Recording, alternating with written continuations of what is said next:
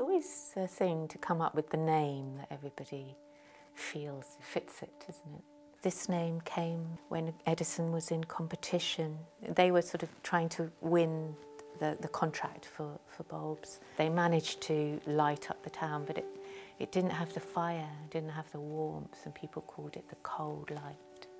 How we ended up working together collaboratively. I'd actually got an AHRC grant when I was working at a university to make a book. Someone put me in touch with Keith as a graphic designer, and Keith was, was one of those people who I relied on. In a sense, we've got three galleries. One is in the middle, which is the corridor where we're going to show some collage works. And then we've got a physical manifestation of a structure, which is a, a scaffolding. Visitors are invited to go up and look down into this dish.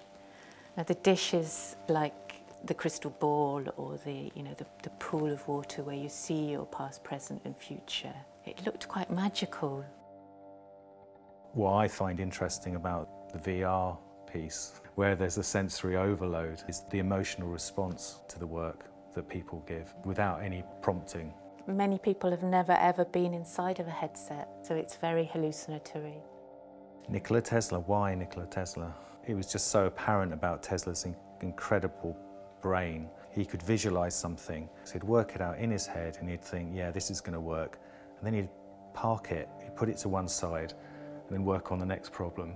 Tesla ended up considering himself to be an automaton, a robot that was just driven by impulses. He really wanted to raise human consciousness and he thought he could do it through electricity.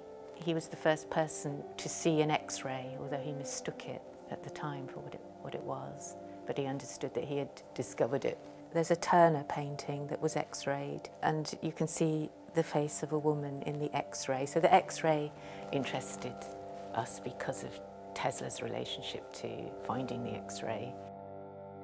I think the overall feeling for me is what are these hallucinatory mediums like film and photography and what they are doing to human consciousness. The shows have quite often been in two or three venues, so each time we're locating it we're looking around for ways in which the narrative that we're following touches upon the place that we're in. I feel like the motif is, is changing at every time, but this shape, it's in an etching by Dürer. Uh, it's called Melancholia, and he has a magic number square in the etching, but it was made just after the death of his mother.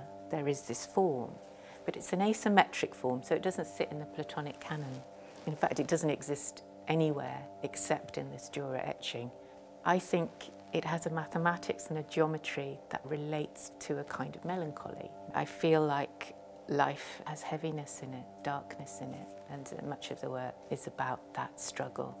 The Dürer shape used it as the pods that people sit inside of, which is a strong idea anyway because these shapes originally only existed in an etching. There's a whole array of materials being used and I, I think the kind of aesthetic that's being followed is one of, well, construction and almost being able to see behind the curtain of how something is made. I've always been using the cardboard in the way that it's like a big model of a thing.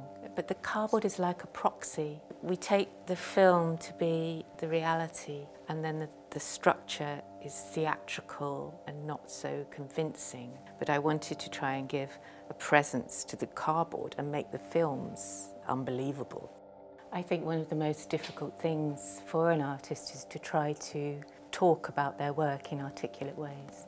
In some ways, you want people to come to your artwork and understand it through their own consciousness, through their own impulses, without you having to tell them a story about what you did and who you were.